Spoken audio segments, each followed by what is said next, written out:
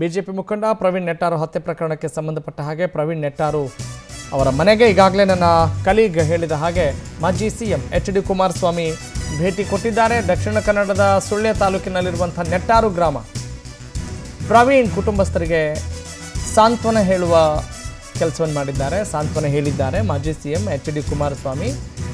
H D ಕುಮಾರಸ್ವಾಮಿಗೆ ಈ ಸಂದರ್ಭದಲ್ಲಿ ಮಾಜಿ ಕೇಂದ್ರ ಸಚಿವ ಜೆ ಡಿ ಎಸ್ ರಾಜ್ಯಾಧ್ಯಕ್ಷ C M Ibrahim M L C B M Farooq ಕೂಡ ಸಾಥ್ ಕೊಟ್ಟಿದ್ದಾರೆ. ಬಳಿಕ ಮಸೂದ್ ಫಾಜಿಲ್ ಮನೆಗೂ ಕೂಡ ಭೇಟಿಯನ್ನು ನೀಡಲಿದ್ದಾರೆ.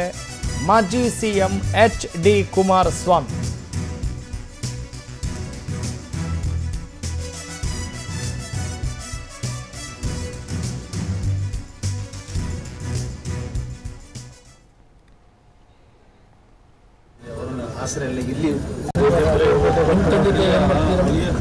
ನಿಮ್ಮ ಫ್ರೀ ಟೈಮ್ ಅನ್ನ ಎ ಟಿ ಎಂ ಮಾಡ್ಕೊಳ್ಳಿ. ಮನೆಯಿಂದಲೇ ಇಂಡಸ್ಟ್ರಿ ಶುರು ಮಾಡಿ. ನಿಮ್ಮ ಕಿಚನ್ ನಿಮ್ಮ ಫ್ಯಾಕ್ಟ್ರಿ ಫ್ರೀಡಮ್ ಆಪ್ ಅನ್ನ ಈಗಲೇ ಡೌನ್ಲೋಡ್ ಮಾಡಿ. ತಾಯಿ ಇಲ್ಲೇ ಇದ್ದಾರೆ. ತಂದೆ ಇದ್ದಾರೆ ಇಲ್ಲಿ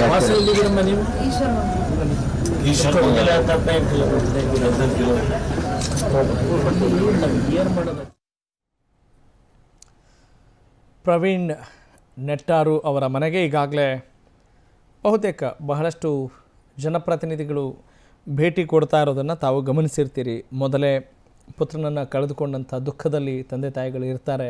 ಈ ಸಂದರ್ಭದಲ್ಲಿ ನಾವೆಲ್ಲ ಜೊತೆಗಿದ್ದೀವಿ. ಇಂತಹ ಘಟನೆ ಜರುಗಬಾರ್ದಾಗಿತ್ತು. ಯಾವ ಶತ್ರುವಿಗೂ ಕೂಡ ಇಂತಹ ನೋವು ಬಾರದೇ ಇರಲಿ ಅಂತ ಬಯಸೋದು ಸಹಜ. ಯಾರೂ ಕೂಡ ಇದನ್ನು ನಿರೀಕ್ಷೆ ಮಾಡಲ್ಲ. ಹೀಗಾದಾಗ ಘಟನೆ ಆದಾಗ ಏನು ಸಾಂತ್ವನ ಹೇಳ್ತಾರೆ ಅನ್ನೋದು ಬಹಳ ಇಂಪಾರ್ಟೆಂಟ್ ಮತ್ತು ಬಹಳ ಇದು ಸುಲಭದ ಕೆಲಸ ಅಲ್ಲ.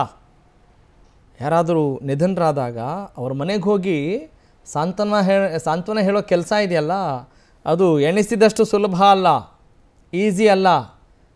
ಯಾಕಂತ ಹೇಳಿದ್ರೆ ಆ ನೋವಿನಲ್ಲಿರುವಂಥವ್ರನ್ನ ಫೇಸ್ ಮಾಡೋಕ್ಕೂ ಕೂಡ ಆಗಲ್ಲ, ಅಷ್ಟು ಸಂಕಟ ಆಗುತ್ತೆ. ಆ ಸಂದರ್ಭದಲ್ಲಿ ಮೌನವಾಗಿ ಕುಳಿತುಕೊಳ್ಬೋದು. ಒಂದು ಉಪಸ್ಥಿತಿಯಿಂದ ನಿಮ್ಮ ಜೊತೆಗೆ ನಾವಿದ್ದೀವಿ. ಭಗವಂತ ಒಂದಿಷ್ಟು ಶಕ್ತಿ ಕೊಡಲಿ, ದುಃಖವನ್ನು ಭರಿಸಲಿಕ್ಕೆ ಅಂತ ಕೇಳ್ಕೊಳ್ಬೋದು.